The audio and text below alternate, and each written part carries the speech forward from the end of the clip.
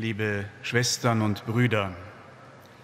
Jesus begegnet seinen Freunden im Evangelium heute nach einer langen Nacht, in der sie nichts gefangen haben. Und er bittet sie um etwas zu essen. Das gehört zur Demut Gottes. Er bittet uns Menschen um unseren Einsatz. Er möchte unsere Mitarbeit. Er bittet auch uns, die wir heute hier zur Feier der heiligen Eucharistie zusammengekommen sind, um unseren Einsatz. Fischen, Menschen fischen für das Reich Gottes. Er bittet auch uns, ihm zu vertrauen und nach seinem Wort zu handeln. Aber dann geschieht im Evangelium etwas Merkwürdiges. Als die Jünger zurückkommen und tatsächlich viele Fische gefangen hatten, da benötigt Jesus diese Fische gar nicht. Er hat das Frühstück schon bereitet. Nun lädt er die Jünger ein, er ist der Gastgeber, der ihnen zu essen gibt. Die Gabe, Brot und Fisch, ist geheimnisvoll und doch nicht schwer zu enträtseln. Brot und Fisch weisen hin auf Jesus Christus selbst, der von sich gesagt hatte, ich bin das Brot des Lebens. Jesus ist das Brot und auch der Fisch, der für uns hinabgestiegen ist in die Wasser des Todes, um uns dort zu suchen und zu finden. So verweist dieses Frühstück das Jesus an der Grenze zwischen Zeit und Ewigkeit bereitet hat, auf die heilige Eucharistie, auf die Speise vom Himmel, die Jesus selber ist. Kommt und esst, das sagt er in dieser Stunde auch zu uns. Er lässt auch uns so bereits die Grenze der Zeit und des Todes überschreiten wir dürfen einen Vorgeschmack auf die ewige Gemeinschaft mit Christus in der Herrlichkeit des Himmels erfahren. Damit wird eine wichtige Wahrheit über die Kirche deutlich. Kirche ist zuallererst Gemeinschaft in der Feier der heiligen Eucharistie. Hier ereignet sich das, was die Kirche von jeder anderen Gemeinschaft unterscheidet. Ohne Eucharistie keine Kirche. Gott gibt sich uns, Gott wird unsere Speise, sodass wir anfangen, von ihm zu leben und damit wirklich zu leben. Durch die heilige Kommunion werden wir zur Communio, zur Gemeinschaft mit Christus und dadurch auch untereinander. Was bedeutet das jetzt für unser Leben konkret?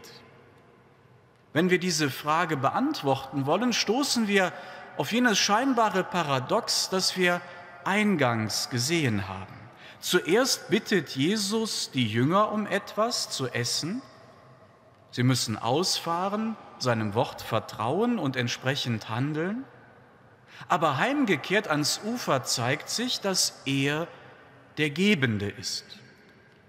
Dieser scheinbare Widerspruch ist nicht ein Mangel an Logik des Evangelisten oder ein Mangel an Logik bei Jesus. Er deckt vielmehr die innere Dimension der heiligen Eucharistie und die innere Wirklichkeit des ganzen christlichen Lebens so auf. Es geht dabei nicht um eine Art Handel. Zuerst müssen wir etwas geben und dann bekommen wir als Belohnung etwas zurück. Es geht vielmehr um einen unverzichtbaren Zusammenhang zwischen unserem Tun und dem Wirken Gottes. Denn als Jesus die Jünger bittet, habt ihr etwas zu essen, da haben sie ihn ja noch nicht erkannt. Es ist ein für sie Unbekannter, der am Ufer stehend sie um eine Gabe bittet. Erst als die Jünger selbst dieses Geben lernen, als sie sich mühen, etwas zu haben für diesen Bittenden, wächst in ihnen die Liebe, die sie dann aufnahmefähig macht für die Gabe Jesu. Diese, wir können sagen, soziale Dimension der Eucharistie ist ihr nicht nachträglich irgendwie von außen auch noch aufgesetzt worden?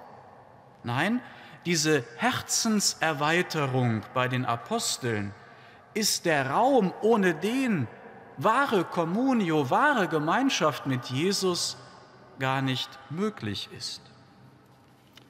Zuerst müssen wir uns selber geben, uns öffnen, um dann überhaupt Gottes Gabe richtig empfangen zu können. Zuerst müssen wir unser Herz weiten lassen, um dann bereit zu werden, die Gabe Gottes, seine Liebe, ihn selbst empfangen zu können. Um eine große, kostbare Gabe erhalten zu können, brauche ich ein entsprechend großes Herz. Um Gott empfangen zu können und damit alles, muss ich bereit sein, alles, mich selbst zu geben. Auch diese unsere Hingabe ist von seiner zuvorkommenden Güte getragen. Aber es geht nicht ohne meine Freiheit. Darum kann Gottes Gabe mich nicht erreichen, wenn ich nicht zugleich bereit bin, auch mich zu schenken. Wer das Feuer Gottes empfangen will, muss bereit sein zu brennen. Oder besser, wer die Liebe Gottes für sich will, der muss bereit sein zu lieben. Das heißt, sich in den Sog des Schenkens hineinziehen zu lassen. Nur indem wir schenken, können wir beschenkt werden. Nur indem wir opfern, empfangen wir, was wir durch nichts verdienen können. So ist in der Eucharistiefeier der Moment der Opferbereitung nicht nur der Moment, wo wir möglicherweise materielle Gaben spenden, etwas Geld für gute Zwecke geben, sondern vor allem der Augenblick, wo wir uns selbst mit der Hingabe Christi auf dem Altar verbinden können und sollen. Mein Heimatpfarrer sagte es mit ganz einfachen Worten. Ein wenig Essen, ein wenig Trinken wird auf dem Altar bereitet. Essen und Trinken ist irgendwie das Leben insgesamt. Das kommt von uns. Wir sollen uns selbst mit der Hingabe Jesu verbinden. Das ist die innere Dimension der aktiven Teilnahme an der Eucharistie, der Participatio Actuosa, von der das Zweite Vatikanische Konzil besonders spricht. Wir empfangen die heilige Eucharistie nur dann richtig, wenn wir den ganzen Weg Jesu mitgehen, durch das Kreuz zum Leben, durch unsere Bereitschaft, für die anderen mitzusorgen zur Gemeinschaft mit Christus. Durch das Auswerfen des Netzes auf das Wort des Herrn hin wird die Kirche aufgebaut. Das geschieht zum Beispiel dann im Alltag, indem wir unsere Arbeit, unsere alltäglichen Mühen als Werkzeug unserer Mitwirkung mit Gott einsetzen.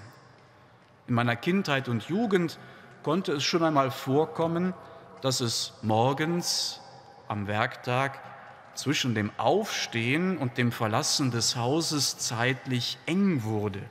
Vielleicht ist das heute manchmal auch noch so. Wenn ich nicht zu einem bestimmten Zeitpunkt das Haus verließ, dann konnte ich nicht pünktlich in der Schule sein, dann war die Straßenbahn weg. Da konnte es schon einmal vorkommen, dass die Morgentoilette etwas sparsamer ausfiel, aber auf zwei Dinge haben meine Eltern vor allem meine Mutter, doch geachtet. Erstens, ich ging nie ohne Frühstück aus dem Haus, auch wenn das manchmal dann etwas kürzer war. Und zweitens ging ich auch nie ohne Morgengebet aus dem Haus, auch wenn das dann manchmal etwas kürzer ausfiel. Das war dann oft gesungen oder gebetet, die erste Strophe des Liedes Alles meinem Gott zu ehren, in der Arbeit, in der Ruhe. Das war die sogenannte gute Meinung am Anfang des Tages. Der Sinn war, der ganze Tag sollte für Gott sein. Dieses positive Vorzeichen vor allem, was dann danach kam, das machte tatsächlich einen Unterschied. Jeder Tag, auch dieser, so knapp das Gebet vielleicht auch morgens ausfiel, sollte ein Tag nicht nur von Gott, sondern auch für ihn sein. Durch dieses Gebet sollte das Herz darauf ausgerichtet, geweitet werden, Gelegenheiten zu erkennen, wo diese Absicht dann verwirklicht werden konnte, vielleicht ja schon auf dem Weg zur Schule in der Straßenbahn, etwa durch ein Zugehen auf einen von den Mitschülern, die eigentlich nicht zu den sympathischeren gehörten. Unsere Opfer aus Liebe, liebe Schwestern und Brüder, sind wie ein Netz, das andere für Jesus gewinnt. Indem wir immer wieder neu auf unseren Eigenwillen verzichten und indem wir schließlich auch den irdischen Tod aus der Hand des himmlischen Vaters annehmen, wachsen wir als Christen, werden wir Jesus immer enger verbunden. Dann werden wir auch sein Wort immer deutlicher hören, das aus der Ewigkeit in diese Zeit hineinklingt. Kommt und esst. Empfangt in der Gestalt der zeitlichen Nahrung die Speise für das ewige Leben. Amen.